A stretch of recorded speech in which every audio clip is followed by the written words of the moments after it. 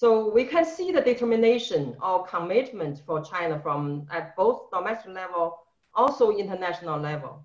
But I think there's still a long way to go. And also the changes to support that main ob objective. We, we still, um, for myself, I've been talking with the officials and uh, scholars in the area or working in different parts of this new system. I still have the feeling like we are not so clear about the, uh, the supportive kind of uh, aspects for this to reach these objectives.